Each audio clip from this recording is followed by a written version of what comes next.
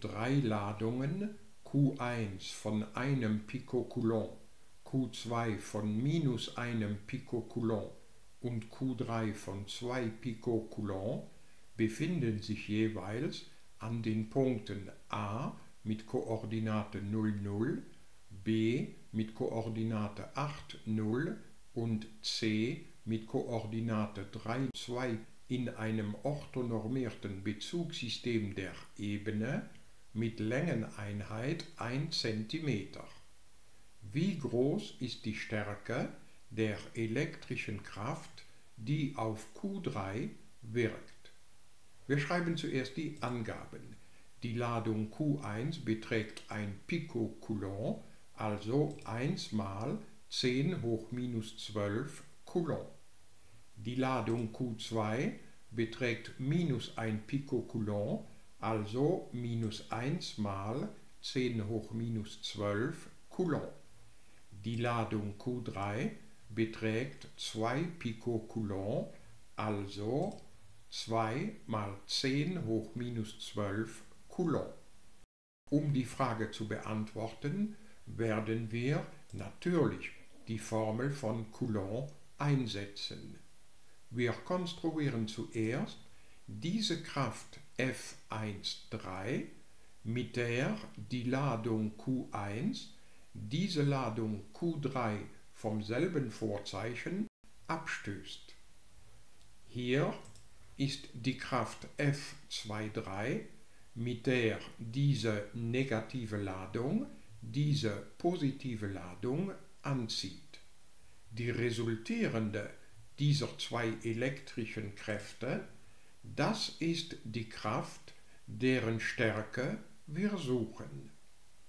Zuerst schauen wir im Dreieck CEF. Diese Seite r im Quadrat können wir berechnen durch die Cosinusregel. Diese Seite r im Quadrat ist gleich zu f1,3 im Quadrat plus f2,3 im Quadrat minus 2 mal f1,3 mal f2,3 mal Cosinus von diesem Winkel, der dieser Seite r gegenüber liegt. Wir müssen also f1,3 berechnen, f2,3 berechnen und Cosinus von Alpha berechnen. Beginnen wir mit f1,3.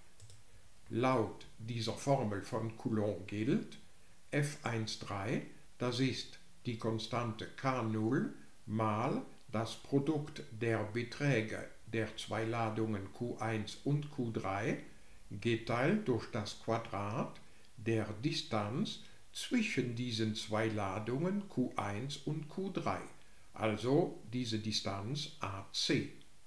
Wir kennen hier alle Größen außer AC, aber diese Größe können wir sehr schnell in diesem rechtwinkligen Dreieck herausfinden. Der Satz des Pythagoras besagt, dass AC gleich ist zu 3 Quadrat plus 2 Quadrat. Also ist AC die Quadratwurzel von 9 plus 4, also die Quadratwurzel von 13.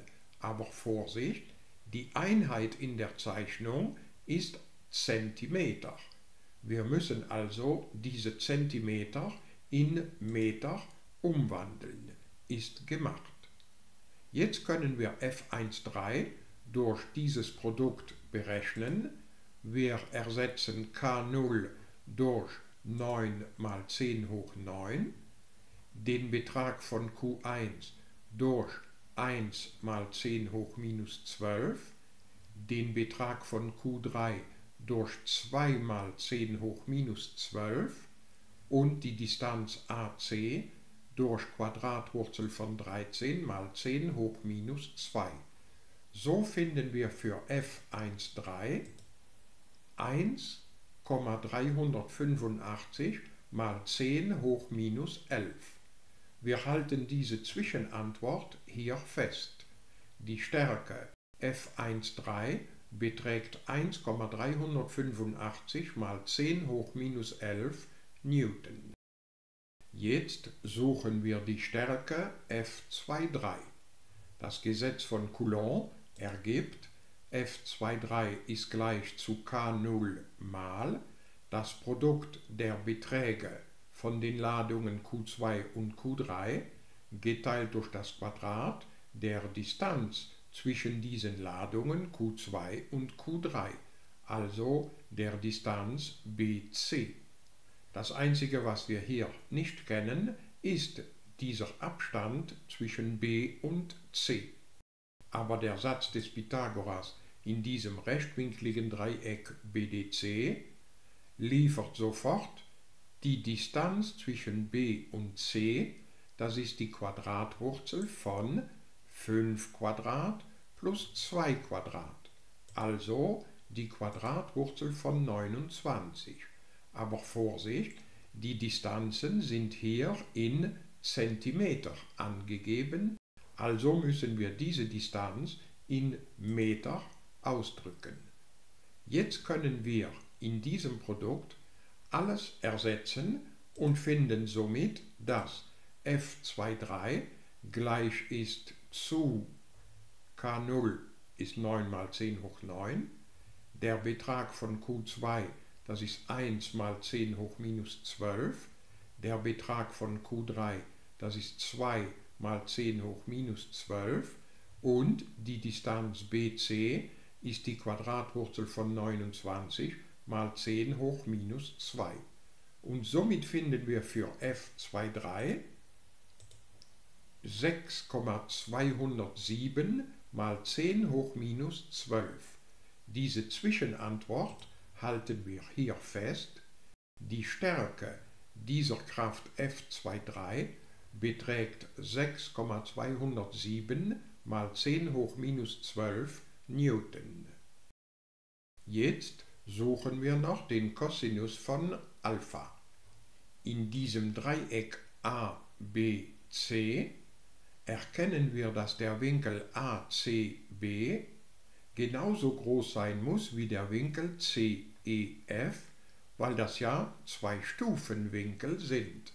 Also ist diese Öffnung Alpha. In diesem Dreieck ABC ergibt die Cosinusregel dass ab gleich ist zu ac plus bc minus 2 mal ac mal bc mal Cosinus von Alpha. In dieser Gleichung können wir AB ersetzen durch die Distanz zwischen a und b, das ist 8, aber Vorsicht, das sind 8 cm, also müssen wir AB ersetzen durch 8 mal 10 hoch minus 2 Meter. Wir ersetzen AC und BC da und da durch die geraden gefundenen Werte und somit finden wir diese Gleichung, die als Unbekannte Cosinus Alpha hat.